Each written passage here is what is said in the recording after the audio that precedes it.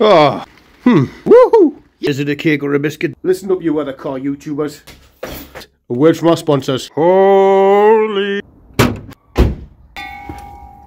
Hello, classic and retro car lovers. Welcome back to the People's Channel. The channel where we don't put cars away for the winter. We're going to rock it until the wheels fall off. Well, not literally.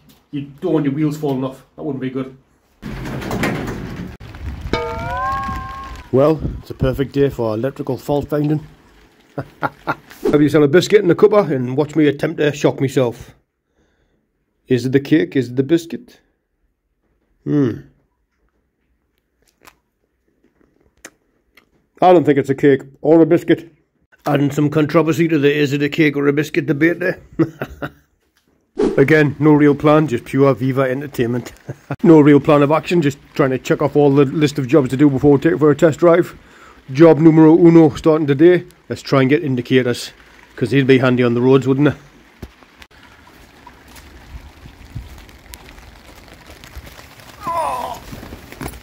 So my dad's been round, we didn't get any filming done because, well, well, we're jammed under this cover and plus my phone was getting very wet. But we checked all the wiring and we had power to the relay. I've got the old relay back on now, I'll tell you why in a minute. But uh, we had power from there to there, there to there, we checked all this and we had power going to the stalk so we eliminated, eliminated everything and found out that the stalk was bad. So I know a lot of you suggested, and thank you very much for suggestions and comments on what to do. A lot of you suggested spraying contact cleaner in there and then blowing it out of a compressor. Didn't have the compressor here, but when I went shopping the other night and I got this contact cleaner, which in my opinion good stuff, but probably just because it worked. Fast drying. So sprayed that full of the contact cleaner. It's fast drying. Sat and had a cup of tea, waited for it to dry. And we have indicators. Right indicator, left indicators.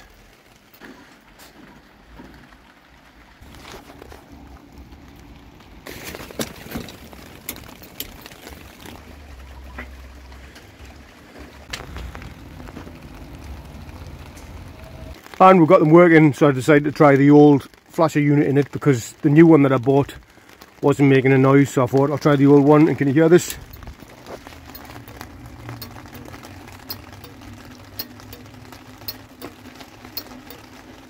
So we have indicators, I haven't checked out the horn yet and the other electrics but I'm going to wait until it's drier so I can lift the bonnet otherwise all the water's going to run down into the fuse box. Or I might turn the car around again at some point and put the front end in the garage so it's nice and dry the front end so the electrics don't get wet. I know a lot of you mentioned that my, my brake lights were on on the video. It's because the brake light switch isn't connected, so it was constantly open. So I shoved a zippy tie around there while we were checking the indicator so it didn't uh, run, run the battery dry or anything. And I'm going to try and fit that on now. I don't know if there's enough threads left on it because it snapped off the original one, but uh, we'll give it a go. And if not, we'll have to order up a new brake light unit switch.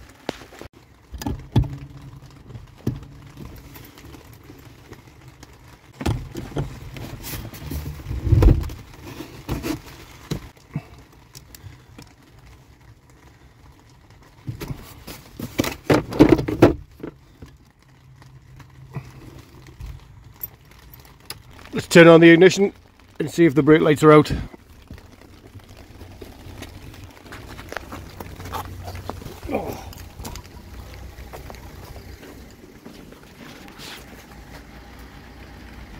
Yep, no brake lights. They're just reflectors in case anyone's wondering. I'll just get me work companion to press on the brake here.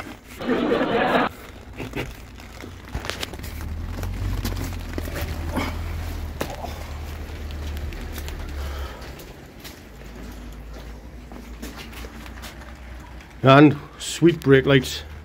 Woohoo! I'll just dismiss the work companion here. then see if we've got rear lights.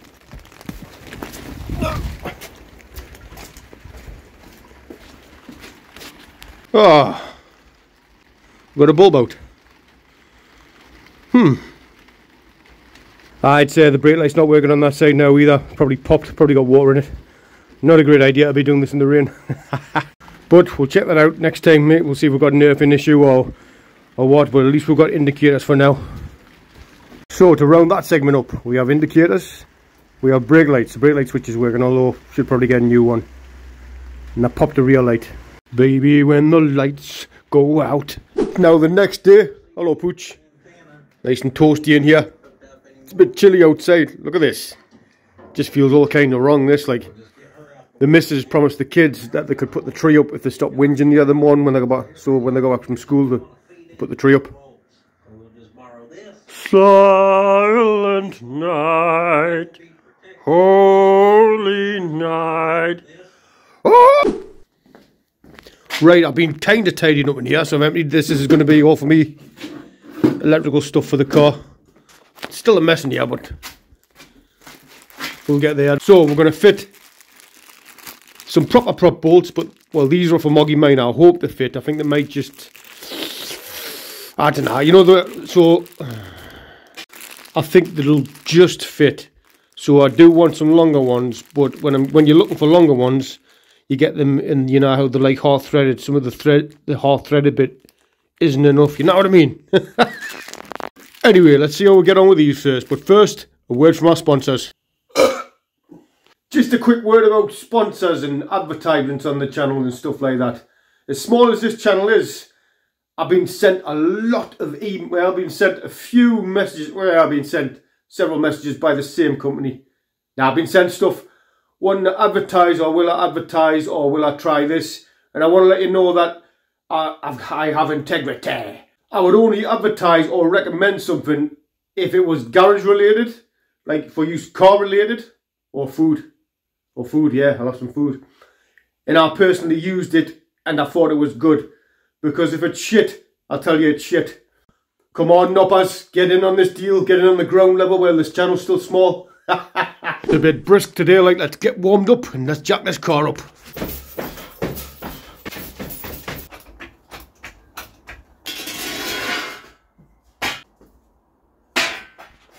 It's time! Thank you to everyone who bought us a coffee. Thank you for supporting the channel. You can also support the channel by hitting that thumbs up button or subscribing if you want, if you're still watching.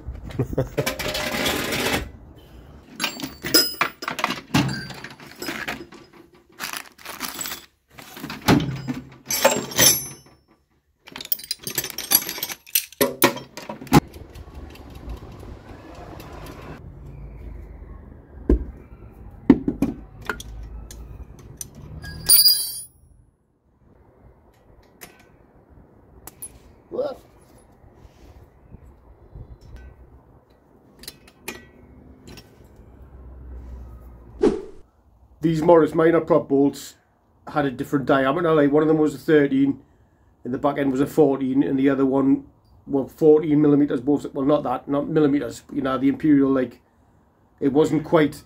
Well, actually, it wasn't quite 9 16ths, and it wasn't quite 14. It was a mystery. Mystery. So my Imperial spanners are limited. So you know how you can get away with using 13 on a half inch. I am. And so, and there's 14 millimeter outer diameters on the Moggy Minor bolts. Or so, not quite 14, but they're not quite 9 16ths either. It's a mystery. Don't know what I'm talking about, just hit me head there, you know what I mean? Right, so.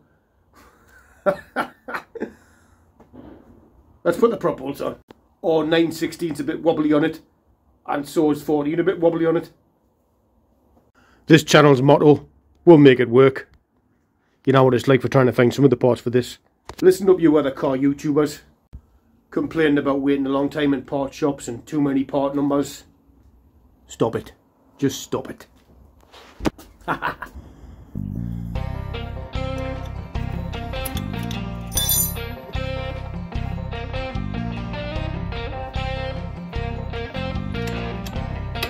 Back to a 13.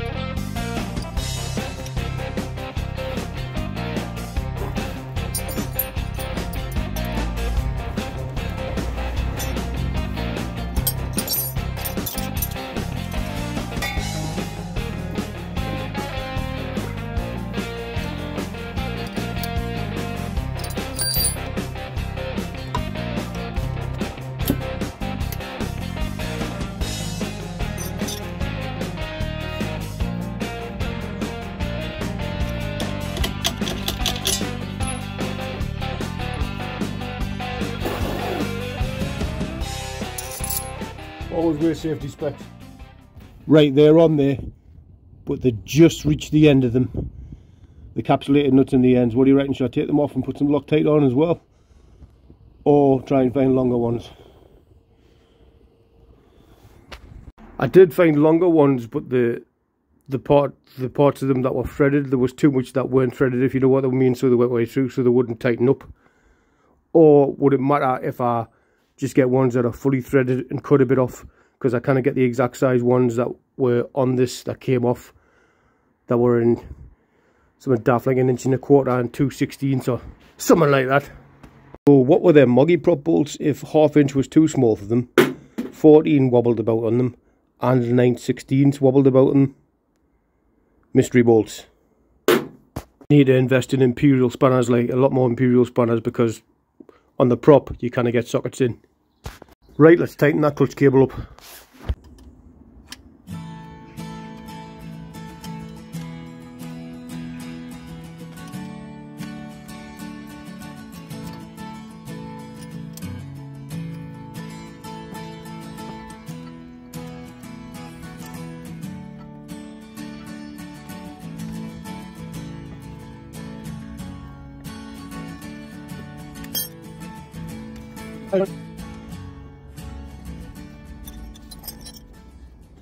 This return spring's looking a little old and weathered.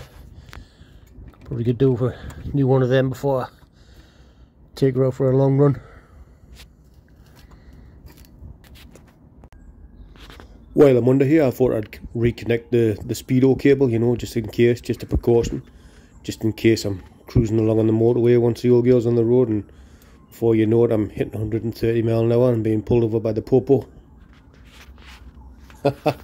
Let's see if the old girl makes it to a motorway first, eh? The last time this was on the road, people still wore shell suits.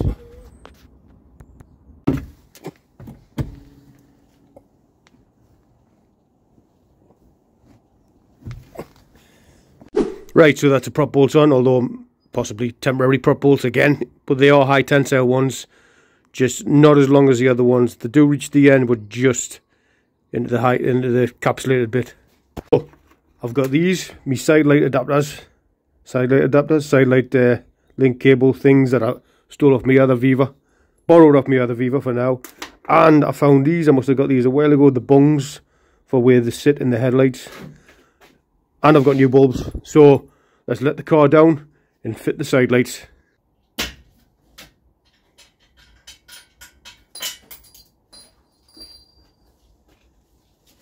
You know I like me safety. I haven't got many of me nine lives left. You can never be too safe, but you can be too dumb.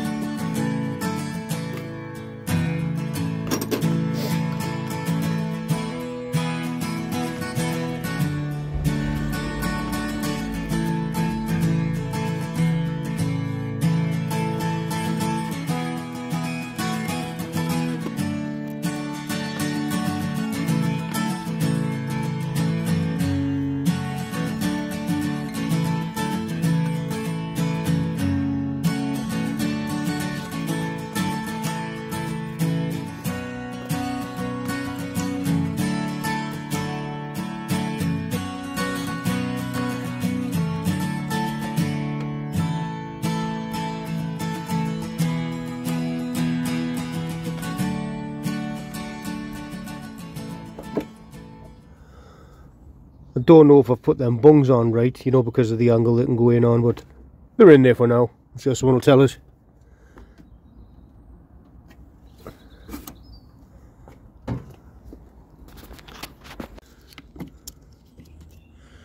Why am I breathing so heavy? right, I'm just going to drive it backwards and forwards a little bit to check the clutch out.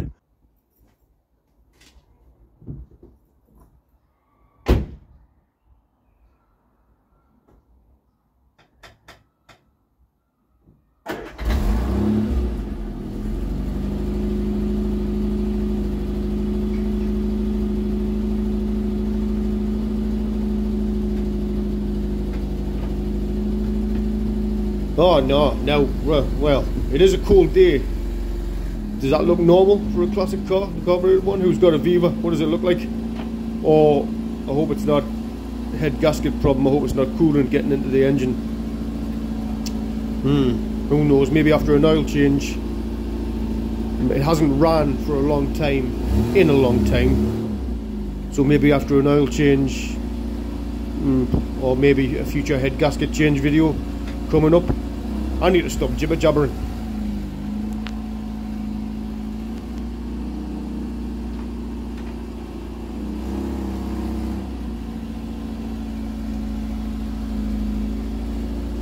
So in the next video, let's get the oil and filter done and should put some gearbox oil in it, check the gearbox, top, top the gearbox oil up and I think I'm definitely going to loosen that clutch off as well.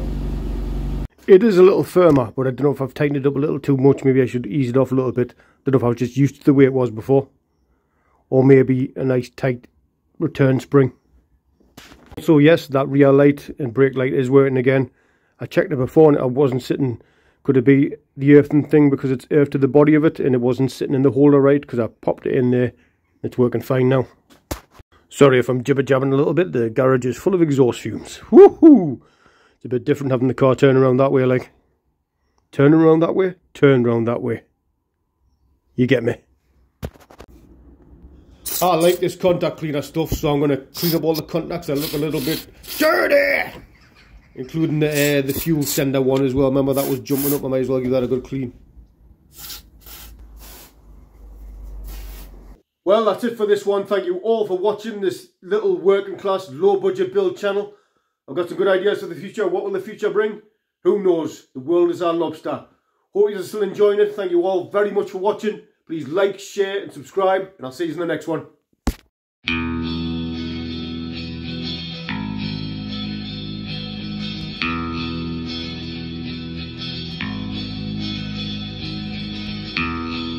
Behind your frozen eyes, skies ahead and laughter make me feel just one more thing than I.